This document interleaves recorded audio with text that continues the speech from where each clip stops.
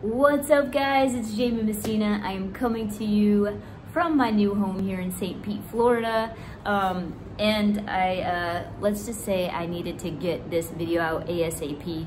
So normally I would taste something in front of you, but today we're gonna do the taste test. Well, I already did the taste test. I'm, I can't lie and pretend I didn't already taste it. So I'm just gonna tell you how it tastes, but we have Pruvit's um, birthday cake dairy-free keto OS Pro. So that's the Protones. It's protein-infused ketones. Um, this was dropped for their five-year anniversary, and uh, I'm hoping it's going to come back, and you'll be able to watch this video and then get it next time around. But I tasted this the other day. All I did was shake it up with um, coconut milk or almond milk at the time. Either way, I hear people shake it up with water. I would just tell you it's absolutely delicious. I am actually super surprised. Like I knew they do a good job, but this was really, it, it tasted exactly like funfetti cake. Um, so you can either just shake it up in a shaker or you can blend it. I also blended it with ice and um, coconut milk but just shaking it up was so good. Um, I literally, like, I kept looking at my glass expecting to see funfetti colors in, in the glass as well.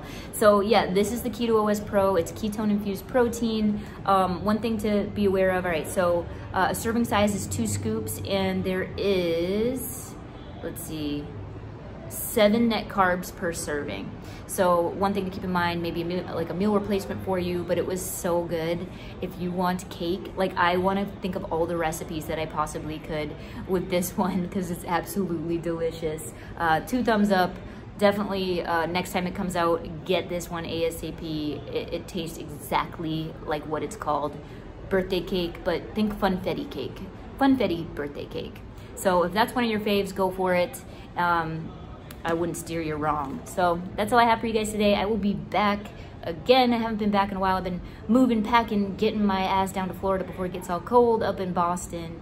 And I'm here and I'm ready to roll. And as the new flavors roll out, uh, I'll be back and make sure that I give you a little a little test or uh, you know review of it.